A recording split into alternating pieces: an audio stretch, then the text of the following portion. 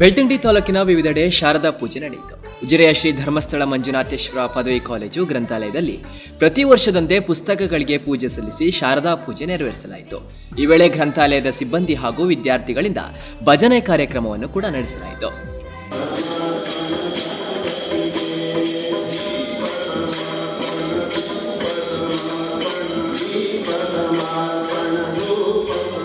ಉಜಿರೆಯ ಶ್ರೀ ಶಾರದಾ ಪೂಜಾ ಸಮಿತಿಯ ಮೂವತ್ತೆಂಟನೇ ವರ್ಷದ ಶ್ರೀ ಶಾರದಾ ಪೂಜೋತ್ಸವ ಉಜಿರೆಯ ಶಾರದಾ ಮಂಟಪದಲ್ಲಿ ನಡೆಯಿತು.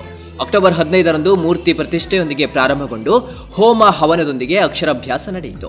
ಕುಣಿತ, ಭಜನೆ ಹಾಗೂ ಸಾಂಸ್ಕೃತಿಕ ಕಾರ್ಯಕ್ರಮಗಳು ಶಾರದಾ ಪೂಜೆಗೆ ಮತ್ತಷ್ಟು ಮೆರುಗು ನೀಡಿತು.